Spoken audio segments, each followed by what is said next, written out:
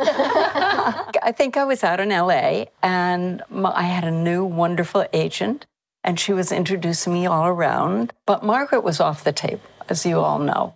And then from the sky came this wonderful team of Jim and Kelly convincing me, the persuasion lunch, we call it. Yes. convincing me that we should do Margaret and that they were the perfect team to do Margaret. Oh, I couldn't believe we got off the plane and there you were to pick us up from the airport, which I was like, oh my, oh my gosh. gosh. We'll be taken back. I was like, where, where am I in? Sitting down to write, I just imagined 10 million fans being like, don't mess it up. Pressure, responsibility, yeah. yes. tension, yeah. Overwhelming. Yeah. And yet, what we have here is to me the truest possible version of this book. I'd say to everybody, don't worry, you won't be disappointed.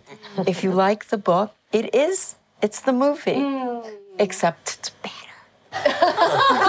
my, my script is is wrecked. It's covered in notes, yes, and yes. the first five pages are falling out. I had to bobby pin them together. Yeah. Um, oh, with Margaret's bobby pin. I stole some from the hair trailer.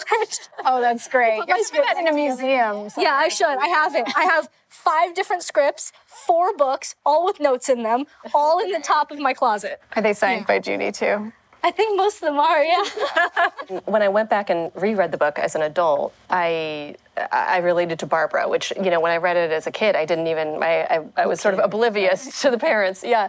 Um, but I related to her and how to balance being a mom and being there in, in all the ways, um, and also having your own career and, mm-hmm. and doing the things that feed your own soul and finding that balance is tough. Yeah. Um, and I think that's part of what you portrayed so beautifully and, and what just like, just bowled me over on set was I was like, that is the experience. That is that is it. You know. And we were having that experience. We're on set. We were, yes, as exactly. mothers going like, are they okay? Yes. Okay, exactly. let's shoot this scene. Yes. You know. So it was exactly. so exactly right.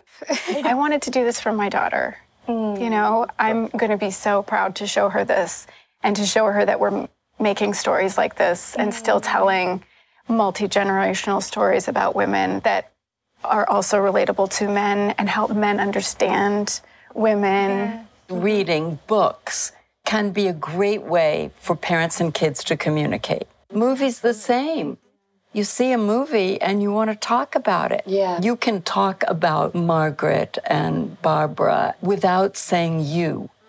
what point. do you think about this when Margaret did this? And right. that might help your child talk. I was Laura Danker.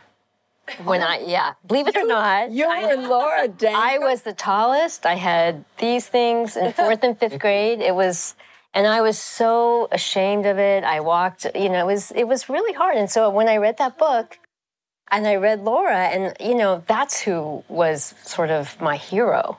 I can remember exactly where I was when I started to read it. Like it was such a resonating experience that it's like the memories, all the little details are indelible. I was 11 and it was just so awkward. And I was also a late bloomer and distraught about it. and I was also praying to God for boobs and doing all sorts of stuff trying to get boobs.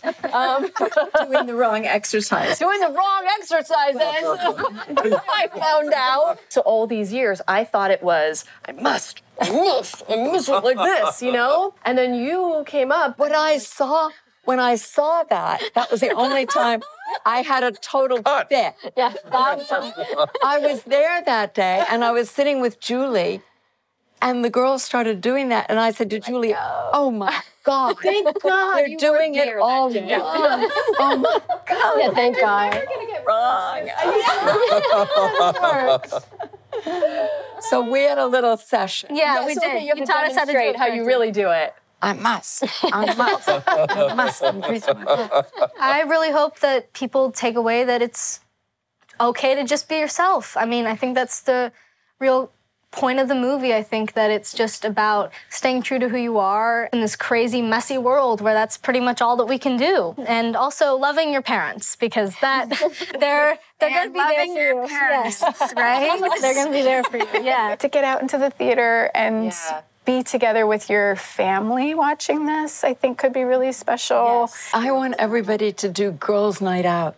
This Yeah. is girls' night Yes, out. yeah, Let's yeah. go Yes. together. Yeah. I hope people are uplifted by it. I hope they feel seen. Mm-hmm. Um, I hope it makes them tell their own stories to each other. Yep. Well, it was after some of the screenings when you'd go in the bathroom the women were talking to each other, and it's the most amazing conversations because it was all about their experience and they're sharing these very intimate things. I mean, it was really, it sparked that. Margaret's experiences are things that we can all relate to because they're so timeless. Even though everything's happening to Margaret in the 70s, it's something that I can relate to now. It's something that that everyone I think in this room can relate to because the journey of finding yourself is something that we are all constantly doing no matter what age you are or where you come from or who you are. We can all identify a piece of ourselves within Margaret.